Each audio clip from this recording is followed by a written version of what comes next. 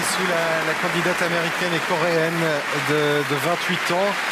qui dans ce euh, quatrième concerto de Mozart est parvenue euh, tout de même à, citer la, la et à citer la première sonate euh, d'Isaïe qu'on a souvent entendue à l'occasion de ces, petites cadences et qui, elle au moins, quoi qu'on pense de sa prestation, aura osé montrer de la personnalité et de la singularité.